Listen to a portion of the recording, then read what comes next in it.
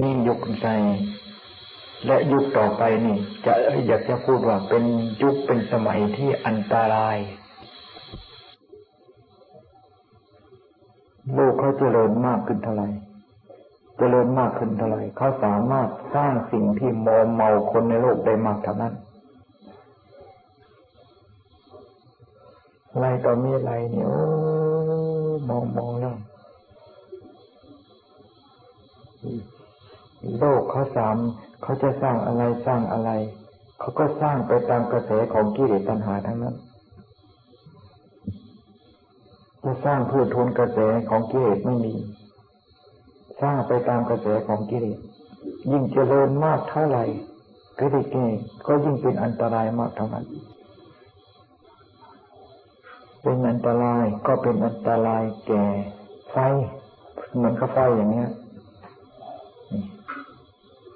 มันจะผ่าน มันจะไหม้คนมันก็ไหม้คนที่เข้าไปในกองไฟ ถ้าว่าคนอยู่ห่างกองไฟ ไฟไม่สามารถจะไหม้คนที่อยู่ห่างกับกองไฟนั้นได้คำว่าอันตรายอันตรายทั้งหลาย มันก็เป็นอันตรายเฉพาะคนที่กระโดดเข้าไปในกองอันตรายนั้นแต่หากว่าคนถอยหลังเสีย คนพยายามระมัดระวังห่างไกลจาก สิ่งที่เป็นอันตรายนั้น คนนั้นก็ปลอดภัยจากอันตราย อันตรายไม่มีจึงธรรมะคำสอนของพระพุทธเจ้าหรือศีลธรรมจึงเป็นประโยชน์แก่โลกจึงมีความจำเป็นแก่คนทุกคนจริงๆ วันพรุ่งนี้จะมีการทอดกระถิ่นกันที่วัดนี่ประมาณสักเจ็ดโมงเจ็ดโมงเช้าทอดกระถิ่นเรียบร้อยเรียบร้อยในการกระถิ่นแล้วในเรื่องกระถิ่นแล้ว ก็จะมีการบินเทบาทบินทบาทสถาญาติโยมก็ใส่บาตรกันตามปกติ หลังจากใส่บาตรกันแล้วพระก็ฉันโยมกระทานนี่เป็นอันเรียบร้อยกันไป ว่าหลังจากเรียบร้อยทุกสิ่งทุกอย่างไม่ต้องรีบร้อน พากันไปทอดกระถินอีกแห่งหนึ่งที่วัดที่วัดธรรมพกงนี่ไม่ใช่ศีลเหรอเนี่ยไม่ใช่ศีลมาทำอะไรมาผูกแขนเหรอโอ้หรือดูกองกระถิ่นนะกองใหญ่กองโตจริงๆ นั่งภาวนาสมโพธกองบุญกัน นั่งภาวนาสมโพธกองบุญ หรือนั่งภาวนาอะไรจะว่าสมโพธก็ได้ ฉลองกองบุญก็ได้ เรามีกองบุญด้วยกันทุกคนกองบุญของเราแต่ละคนแต่ละคนก็คือกองที่เรา กองบุญของเราแต่ละคนแต่ละคนกองอยู่ที่เรา เข้าใจไหมล่ะได้ยินบ้างได้ยินไหมกองบุญของเราทุกคน กองอยู่ที่เรานี่แหละ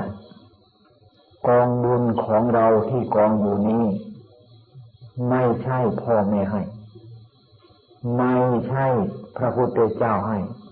ไม่ใช่ พระผู้เป็นเจ้า สร้างให้ เราเรานี่แหละเป็นผู้ที่สร้างบุญ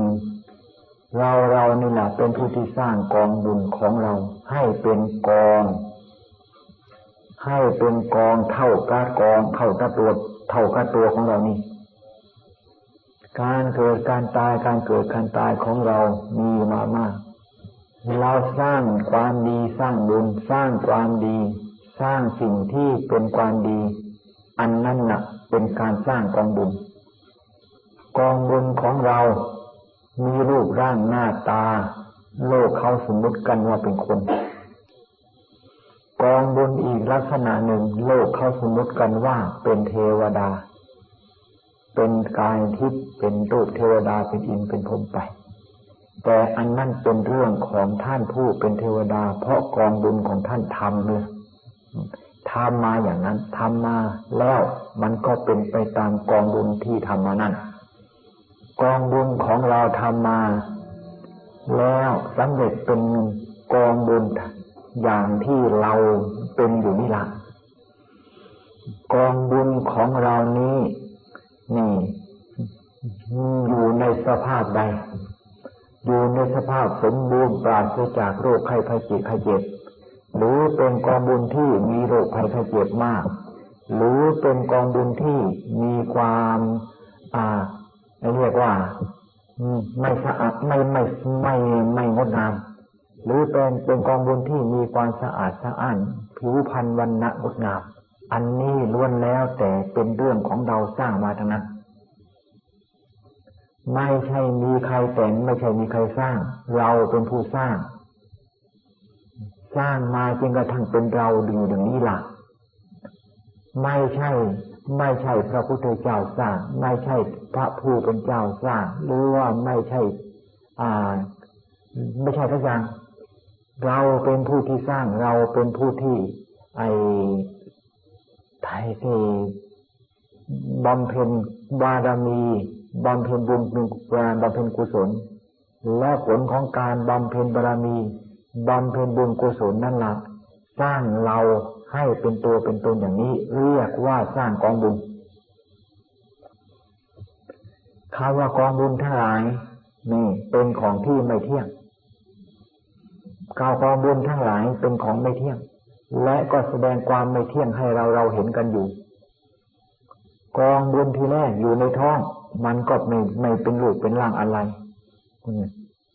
มันก็เปลี่ยนแปลงมาเรื่อยจนกระทั่งเป็นรูปเป็นร่าง และนี่ในที่รูปก็เป็นเป็นรูปร่างของเด็ก เป็นรูปร่างของหนุ่มสาว และเป็นรูปร่างของคนแก่ นี่ก็เรียกว่ากองบุญเขาแสดงไม่กายการเปลี่ยนแปลง และแสดงความไม่เที่ยงมาทุกขั้นตอน และเขาแสดงความไม่เที่ยงทุกขณะขณะใดเขาจะคงที่ไม่มีการเปลี่ยนแปลงมันดี ไม่มีอันนี้จริงว่ากองบุญเป็นอนิจจัง กองบุญเป็นอนิจจังกองบุญก็เป็นทุกขัง กองบุญเป็นทุกขัง กองบุญเป็นอนิจจังกองบุญอันนั้น ก็ไม่มีอะไรที่จะเป็นสาระเป็นแก่นสงสาร กองบุญกองนั้นก็เป็นอนัตตานี่เรียกว่ามีความเกิดแล้วก็มีการเปลี่ยนแปลงแล้วก็มีการตาย กองบุญของเราก็คือกองที่เกิดขึ้น แล้วก็กองที่แก่ไป และกองบุญที่และกองบุญที่จะต้องตาย กองบุญอันนี้คือกองเกิด กองบุญอันนี้คือกองแก่ กองบุญอันนี้คือกองตาย แต่กองบุญกองนี้เป็นกองบุญที่มีคุณภาพ กองบุญกองนี้เป็นกองบุญที่พระพุทธเจ้าอาจเคยอาศัย แล้วได้แล้วได้สำเร็จเป็นพระพุทธเจ้ากองบุญกองนี้พระสาวกของพระพุทธเจ้าอารหัตละหันได้เคยอาศัย และก็อาศัยกองบุญอันนี้ ได้ในบำเพ็ญประพฤติปฏิบัติธรรมนี่จนสามารถได้สำเร็จเป็นพระสาวกของพระพุทธเจ้า อาศัยกองบุญกองที่โลกเขาสมมติกันว่าเป็นคนนี้เราเราก็ได้กองบุญที่โลกเขาสมมติว่าเป็นคน ให้พากันเสริมสร้างกองบุญของเราให้มีคุณภาพยิ่งขึ้นไป ให้พากันตั้งใจ เสริมสร้างบารมีธรรมของเราให้ยิ่งยิ่งขึ้นไป เหมือนกับเราได้อุปกรณ์ในการที่จะสร้างบ้านสร้างช่องสร้างบ้านสร้างเรือน นี่แต่ที่นี่เราถ้าหากว่าเราประมาทเสียไม่สนใจที่จะเอามาสร้าง ในที่สุดเครื่องเครื่องอุปกรณ์อันนั้น มันก็ผุในมันก็ชนลุกทะลุไป เราได้อุปกรณ์มาแล้ว นี่เราก็พยายามที่จะรีบเอาอุปกรณ์เครื่องใช้ไม้สวยนั้น มาไอ้สร้างบ้านสร้างเรือนเราก็ได้เรือนได้บ้านได้เรือน เป็นที่อยู่ที่อาศัย เราได้ร่างกายอันนี้ นี่ที่เป็นกองทุนอนิจจังทุกขังอนัตตา เป็นกองเกิดกองแก่กองเกียรกองตายระหว่างที่เขายังไม่ไปในทางนี้ เราพยายามใช้เขาให้เป็นประโยชน์ สร้างเรือนใจ สร้างเรือนให้ใจของเราได้อยู่ได้อาศัยคาว่าเรือนใจ หมายถึงธรรมะธรรมะคืออะไร คือความสงบลมเย็น ความสงบลมเย็นทำไมจึงลมสงบจึงทำไมจึงลมเย็นได้ ก็เพราะไม่มีอารมณ์ มากวนใจ อารมณ์สิ่งที่ชอบใจ อารมณ์สิ่งที่ชอบไม่ชอบใจอาศัยข้อปฏิบัตินั้น ด้วยเหตุด้วยผลด้วยอุบายที่แยกคาย ก็ละและก็ปล่อยวางได้ ในเมื่อละและปล่อยวางได้แล้ว ใจของเราก็ไม่มีเครื่องมากวนใจ ไม่มีของร้อน อิทธารมเป็นของร้อนอนิธารมเป็นของร้อน ใจไม่มีของร้อนมาเผา ใจก็ร่มเย็นเป็นสุขนี่ จึงว่าในเมื่อเราได้กองบุญที่พระพุทธเจ้า ยกย่องว่าเป็นคุณเป็นกองเป็นกองบุญที่ประเสริฐหรือว่าเป็นที่ใส่ชั้นโลกเขายอลกยกย่องว่าเป็นมนุษย์นี่ เป็นมนุษย์ที่ประเสริฐเป็นสัตว์ที่ประเสริฐ ให้พากันใช้สิ่งที่ประเสริฐที่เราได้นี่ละให้เป็นประโยชน์แก่เราให้เป็นสติกำลังความสามารถ การที่สร้างเรือนใจนี่ให้เวให้เป็นที่อยู่ของใจ ใจของเราในเมื่อมีเรือนใจ ใจของเรามีเรือนใจก็ของของเราก็มีความสุขฝนตกมีมีเรือนอยู่ เราอะไรไอ้ก็ไม่ก็ไม่ก็มีเปียกแดดออกเรามีเรือนอยู่ เราก็เฮเราก็ไม่ร้อน หนาวสักขนาดไหน ในเมื่อเราอยู่ภายในเรือนนั้นในบ้านในเรือนก็ดีกว่าเราอยู่นอกบ้านนอกเรือนนี่ใจของเราที่มีเรือนธรรมเป็นเครื่องอยู่ก็เหมือนกัน นี่โลกเขาจะร้อนเป็นขนาดไหน นี่ใจของเราอยู่กับความสงบ นี่ใจของเราสบาย นี่ความวุ่นวายข้างนอกจะมีขนาดไหนขึ้นแล้วก็ช่าง ใจของเราอยู่ภายในใจ ความในในไอ้ความวุ่นวายข้างนอกนี่จะมีสักขนาดที่ไหนเป็นอะไรก็ช่าง แต่เขาไม่เข้ามาถึงใจเรา นี่จึงนี่ ในลักษณะนี้แหละธรรมะจึงเป็นที่พึ่งแก่ใจท่านจึงว่าธรรมังสรนังคฉามิพระธรรมเป็นที่พึ่งของใจใจกระใจ คำว่าพระธรรมคืออะไร พระธรรมก็คือธรรมะนั่นเอง เราทำให้เกิดให้มีขึ้นในจิตในใจแล้ว พระธรรมหรือธรรมะนั่นหลักให้ความล่มเย็นแก่จิตแก่ใจของเรา นี่ไม่มีอะไรที่จะให้เราความล่มเย็นเป็นสุขแก่เราอันแท้จริงได้ บางทีสิ่งนั้นสิ่งนั้นอันนั้นอันนั้นให้ความลมเย็นให้ความเป็นสุขกับเรา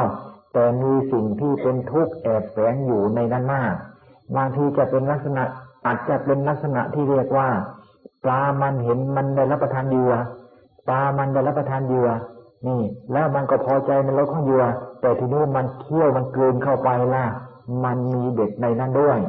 ความสุขความสุขที่เราเคยได้เจอ ความสุขความสุขที่เราต้องการกัน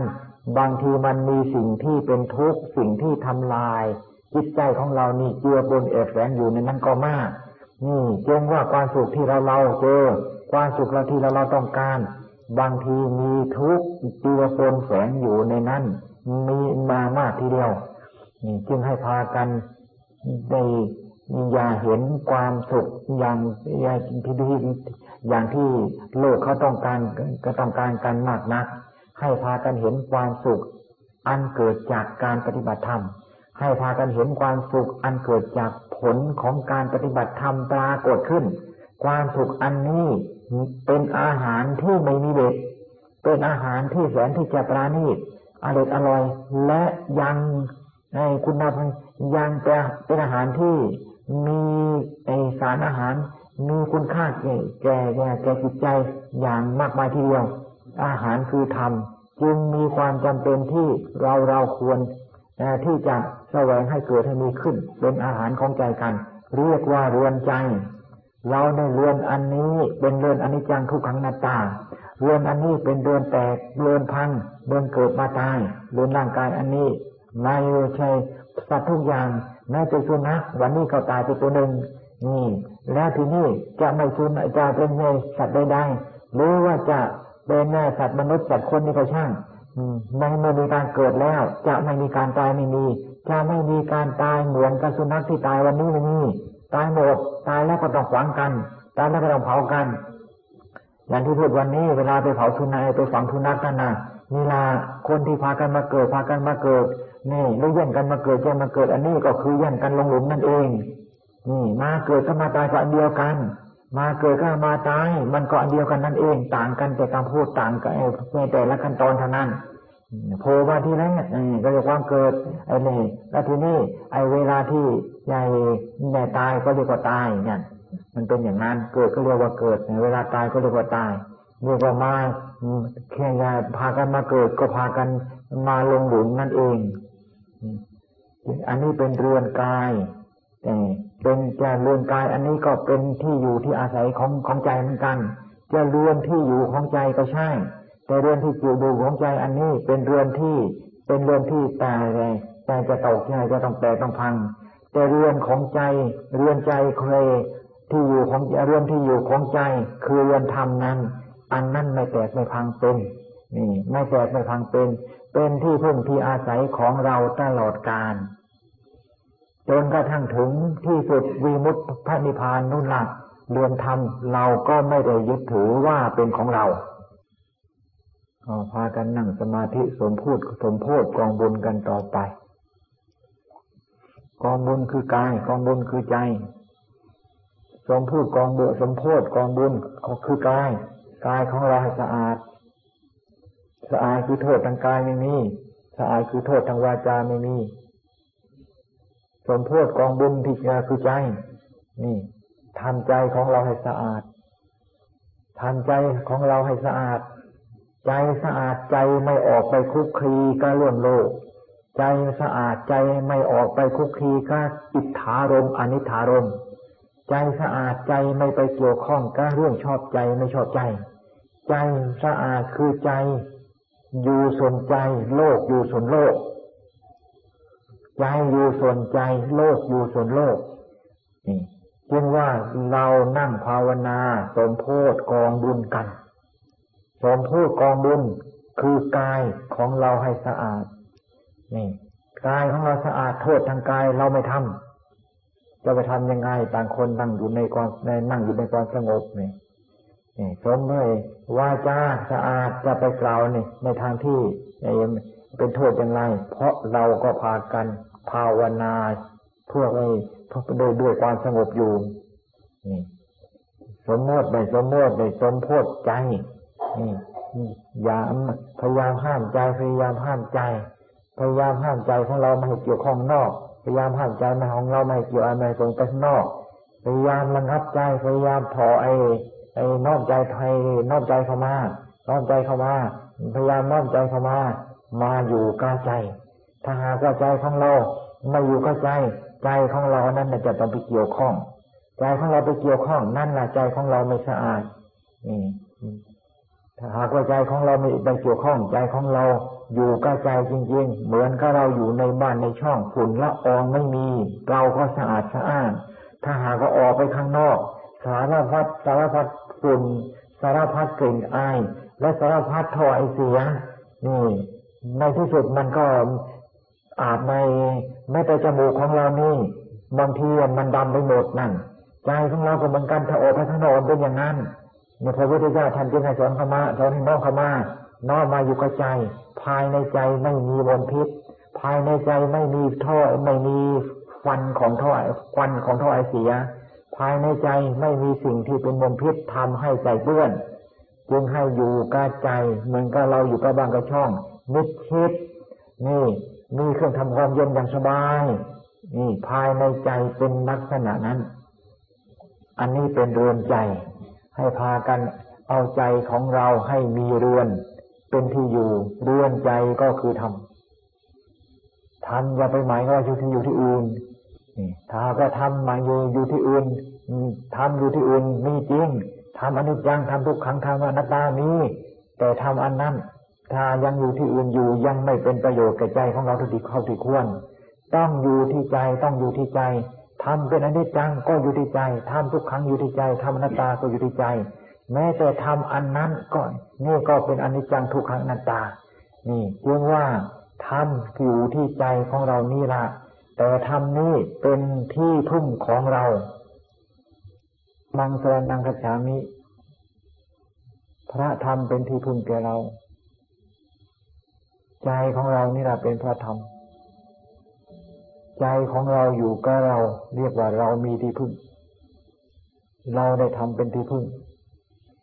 ใจของเราไม่อยู่กับใจ ใจของเราไม่อยู่กับเรา เรียกว่าเราไม่เราไม่ได้ธรรมะเป็นที่พึ่ง ไม่มีธรรมะคุ้มครองนายว่าไม่มีธรรมะเป็นที่พึ่ง ไม่มีธรรมะคุ้มครอง ใจของเราก็เหมือนกับออกไปตามถนนนั่นนะ มีแต่ท่อไอเสียควันท่อไอเสียลูกในออกมาเนี่ยบางทีจะดำไปหมด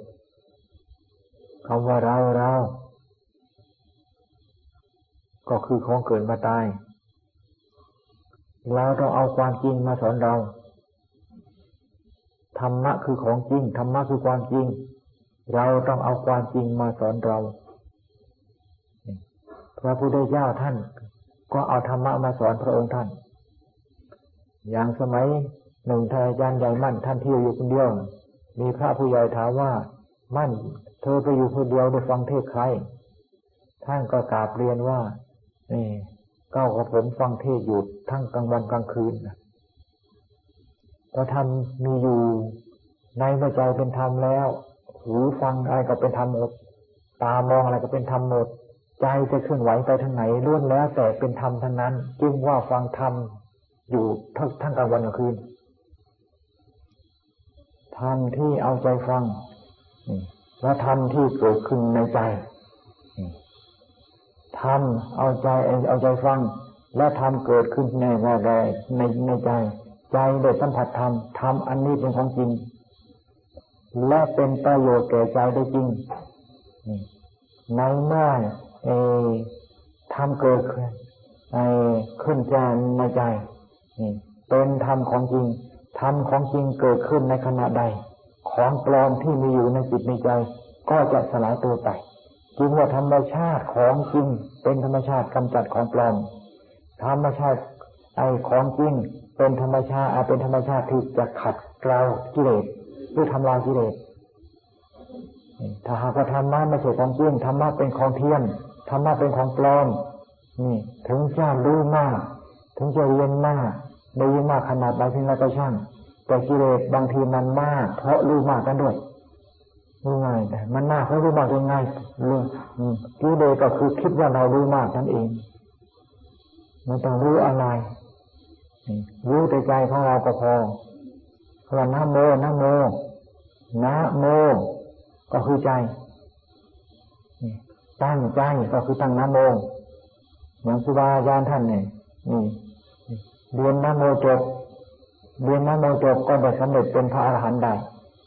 คือเรื่องของเรื่องของใจจบรู้เรื่องของเรียนรู้เรื่องของใจแจ้งก็เรียกว่าสำเร็จเป็นพระอรหันต์นั่นนะโมก็คือใจ การตั้งนะโมตั้งนะโมก็คือการตั้งใจนั่นเองนะโมตัสสะภะคะวะโตอะระหะโตสัมมาสัมพุทธัสสะนี่นอบน้อมถึงคุณพระพุทธเจ้า คำว่านอบน้อมของพุทธเจ้านอบน้อมที่ไหน นอบน้อมที่ใจ เอาใจของเรานี่นอบน้อมนี่นี่ เอาใจของเรานี่นอบน้อมนะโมตัสสะภะคะวะโตอะระหะโตสัมมาสัมพุทธัสสะไม่มาทำความนอบน้อมแด่พระสัมมาสัมพุทธเจ้านี่ก็เอาใจของเราเนี่ยนอบน้อมนอบน้อมที่ไหน นอบน้อมที่ใจ และเห็นใจของเราขณะที่นอบน้อมนั้นนี่ความหมายของตั้งน้ำโมเป็นอย่างนี้ ศึกษาน้ำโมให้มันชัดให้มันแน่ให้มันให้มันรู้ให้มันเข้าใจมันให้มันเข้าใจในเมื่อศึกษาเรื่องนะโมเข้าใจแล้ว การตั้งนะโมอันนี้ก็มีความหมาย เป็นแต่เป็นความหมาย เป็นเครื่องหมาย นี่ เป็นความหมาย การเป็นเป็นเป็นความหมายของการกระทำภายในใจ แล้วก็พุทธังสรนังคาฉามินี่ นะโมพุทธังสรนังแล้วก็พุทธังธรรมในสรนังคาฉามินี่พุทธังก็ใจของเราเนี่ยเป็นพุทธังสรนังกระฉามิเราไม่พึ่งใจเราจะเป็นคนได้เลยใจของใครใจใครไม่มีใจคนนั้นจะเป็นคนได้ไหมเป็นคนทั้งคนใจไม่มีก็ยังไม่เป็นมันก็เป็นผีอะยิ่งว่าพุทธังสรนังกระฉามินี่ เราพึ่งใจโดยการทำงานทำนังสรนังกระฉามินี่ เราก็พึ่งกระทำก็พึ่งใจ สังฆังสรนังกระฉามิล้วนแล้วแต่เป็นใจทั้งนั้น พุทธังสรนังสังฆังสรนังกระฉามินี่ ก็คือต่างกับพึ่งใจของเรานี่เองนะโมก็ใจของเราเนี่ยทำความนอบน้อมนอบน้อมที่ใจ และเห็นใจของเราอยู่นอบน้อมอยู่ที่ใจ เห็นใจของเราอยู่นี่คือความหมายของการตั้งนะโมพุทธังสังฆังธรรมังสังฆังสังฆังสังฆังฉามิก็ใจของเราเนี่ยเป็นที่พึ่งแก่เราถ้าหาว่าใครไม่มีใจเป็นที่พึ่งคนนั้นเป็นผี คนเป็นผีก็เรียกคนหรือเปล่า เรียกว่ามันก็เป็นมันก็ ไม่มีคนแล้วไม่มีอะไรเป็นเป็นที่พึ่งเป็นของที่หมดแทนดินน้ำเป็นไฟอันนี้เป็นดินเป็นน้ำเป็นลมไฟมันไม่รู้จักอะไร นี่ถ้าหากว่าดินน้ำลมไฟไม่ไม่มีใจแล้ว มันก็เป็นคนมันก็พิมเป็นผีเท่านั้นเพียงว่าใจของเรานี่ล่ะเป็นธรรมเป็นเป็นธรรมเป็นที่พึ่งแก่เรา ให้พากันเห็นความสำคัญของใจของเราให้มากพากันสำรวมไว้ดี พากันสำรวมไว้ดี การการรักษาการรักษาไว้ดี รักษาไว้ดี พากันสำรวมนี่คือการรักษา การรักษาก็คือการสำรวมสำรวมให้ดีสำรวมให้มากสำรวมให้ยิ่งความสำรวมให้ยิ่งนั่นละมีความแน่แน่ขึ้น ในขณะที่สำรวมให้ยิ่งนั่นเขาปัญญาปัญญาอะไรในเมื่อสำรวมให้ยิ่งสำรวมให้ยิ่ง เราก็สามารถที่จะเห็นใจของเราได้เพราะใจของเราแน่นแน่เลยอยู่กับใจเราก็สามารถเห็นใจของเราได้ที่จะรู้รอบที่ใจนี่ปัญญาคือความรู้รู้รู้เรารู้เรารู้ในกองสังขาร ใจของเราที่เป็นองค์ไอเป็นสังขารเราก็รู้รอบนี่เว้นว่าคำว่าสำรวมสำรวมนี้นี่จึงมีความสำคัญเป็นข้อปฏิบัติเสมอตั้งแต่ต้น จนกระทั่งท่านเลยไอ้อวัสไอ้ต้นและปลายก็อยู่ในคำที่ว่าสำรวมนี้เองนางสมาธิกับสำรวมใจสำรวมใจสำรวมใจสำรวมใจสำรวมใจภาวนาว่าสำรวมใจสำรวมใจสำรวมใจสำรวมใจ หรือจะไม่พอจะไม่บริกรรมก็ได้ แต่ตั้งใจสำรวมตั้งใจสำรวมตั้งใจสำรวมตั้งใจสำรวมไว้ตั้งใจระมัดระวังตั้งใจรักษานี่ในเมื่อเราตั้งใจอยู่อย่างนี้ใจของเราก็ต้องเราก็จะรักษาได้ ถ้าหากว่าเราตั้งใจให้อะไรให้มาจึงภาวนาให้จะมีมีความสำรวมใจไม่พอ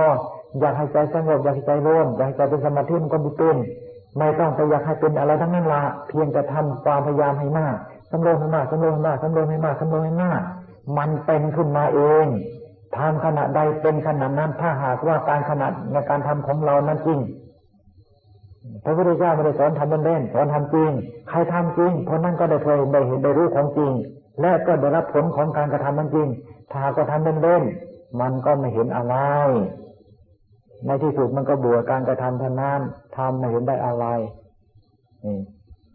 เงินนี่ก็เป็นการนั่งภาวนาเพื่อสมโพธิกองบุญ